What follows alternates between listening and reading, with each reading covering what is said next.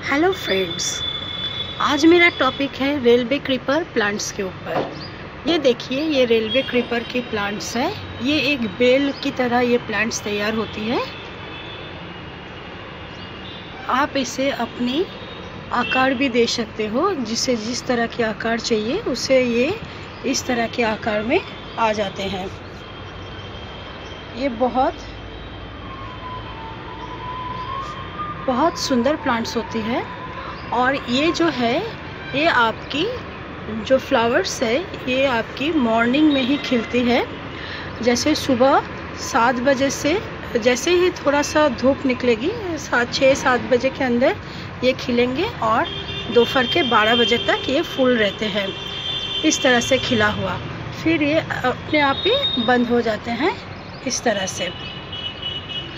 तो इसे हम रेलवे क्रीपर की प्लांट्स के नाम से जानते हैं और इसे हम मॉर्निंग ग्लोरी के भी नाम से जानते हैं।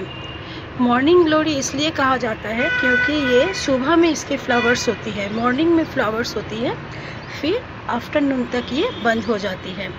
इसीलिए इसे मॉर्निंग ग्लोरी कहते हैं। अब इसकी देखभाल कैसे करना है? इसकी देखभाल करना बड़ा ही आसान है। ये बहुत हार्डी प्लांट्स होती है। ये ज़्यादा जल्दी इसकी डेथ नहीं होती है। इसे आप, जैसे फ्लावरिंग की टाइम होती है, तब आप इसे अच्छी तरह से फर्टिलाइज़र दे दीजिए। इसे ज़्यादा पसंद है बर्मी कंपोस्ट और गोबर की खाद। मैंने इसे बर्मी कंपोस्ट दिया हुआ है। अभी इसकी फ्लावरिंग के टाइम है। तो जैसे फ्लावर शुरू होते हैं, फ्लावर शुरू होते हैं आपकी एंड ऑफ़ मार्च तक।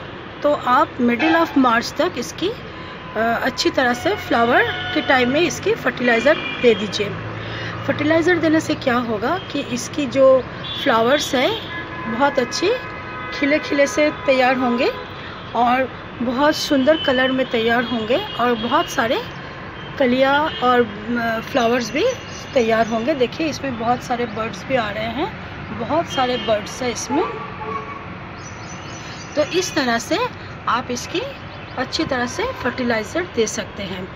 और अब इसकी है सन की रिक्वायरमेंट इसकी सन की रिक्वायरमेंट बहुत ज़्यादा होती है क्योंकि इसे सन बहुत ज़्यादा पसंद है। अगर आप इसे सन की जगह, जहाँ पे सनलाइट बहुत अच्छी तरह से आती है, उसी जगह पे अगर आप इसको रखते हो तो इसके प्लांट्स बहुत अच्छी तरह से बहुत ज़्यादा हरी भरी और बहुत ज़्यादा खिल जाएँगे, भर जाएँगे पूरे। आप अगर इसे छाएदार जगह पे रखते हो तो इसके पत्ते तो होंगे, लेकिन फ्लावर अच्छे नहीं बनेंगे। तो आप इसे बिल्कुल सन वाली जगह पे रखिए, जहाँ इसकी सन की रोशनी, सूरज की रोशनी बहुत सुंदर आती है। उसी जगह पे आपको इसे रखनी है। और इसकी जो रिक्वायरमेंट है पानी की, इसकी पानी की रिक्वायरमेंट बहुत ज़्यादा होती है। गर्मी के टाइम में आप इसको दो टाइम पानी देंगे। दो टाइम पानी देने से क्या होगा कि इसकी जो हरी पत्ती जो है, वो बिल्कुल हरी भरी रहेंगे इस तरह से। इस तरह से इसके लिप्स जो हैं, बिल्कुल हरी भरी रहेंगे और देखने में भी बहुत सुंदर लगेंगे। अगर आपका जैसे प्राइवेट घर है तो आप उसे घर के साइड में आप ऐसे इसको आप लगा दीजिए। तो आप देखोगे कुछ ही दिनों में ये बिल्कुल भर जाएँगे। फ्लावर्स से और देखने में बहुत सुंदर लगेंगे, क्योंकि गमले में उतना गमले में पौधे होते तो हैं बहुत सुंदर, लेकिन ज़मीन में जितना अच्छा होता है, वो गमले में नहीं होता है। तो आप इसे ज़मीन में लगा के देख सकते हो, बहुत सुंदर, बहुत घना बन जाएँगे और ये प्लांट्स कभी मरते नहीं हैं। ये काफ़ी साल तक आपके साथ यूँ ही चलते रहेंगे। और इसकी जो आप पौधा किस तरह तैयार कर सकते हो? इसका पौधा तैयार होती है दो तरह की।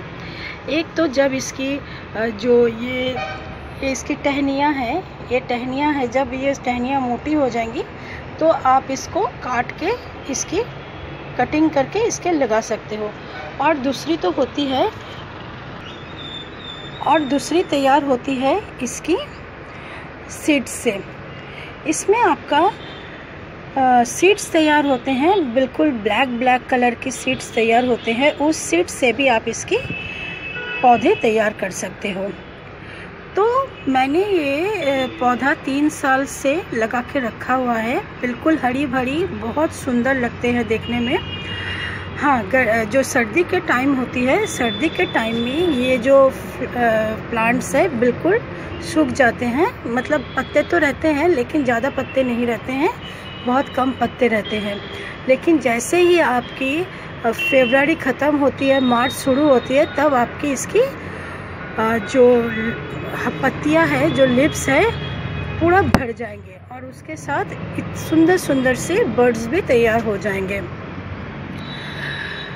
तो आप इस प्लांट्स को बड़ी अच्छी तरीके से आराम से लगा सकते हो। कोई भी इसकी ज़्यादा परेशानी नहीं है। इसको ज़्यादा कुछ फर्टिलाइज़र की ज़रूरत भी नहीं होती है। बस इतना करना है कि इसे आपको अच्छी तरह से पानी देनी है।